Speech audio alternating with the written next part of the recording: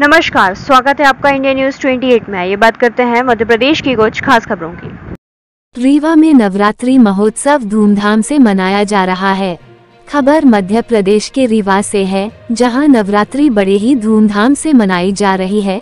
वहीं रीवा के सर्राफा मंडल में काली माता की प्रतिमा स्थापित की गई है, जिसको देखने के लिए दूर दूर से भक्तगण दर्शन करने के लिए आ रहे हैं।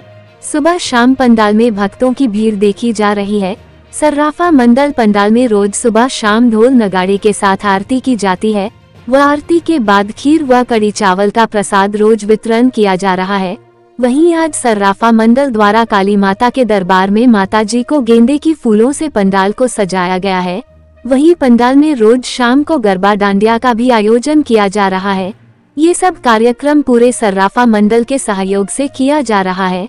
तो वही पंडाल में आज भंडारे का आयोजन भी किया गया है। दुर्गा पंडाल में नवमी के दिन हवन का कार्यक्रम किया जाएगा व दशहरा के दूसरे दिन शाम को माता काली का विसर्जन समारोह का आयोजन होगा। आइए आपको दिखाते हैं सर्राफा मंडल में विराजमान माँ काली के दरबार का दृश्य।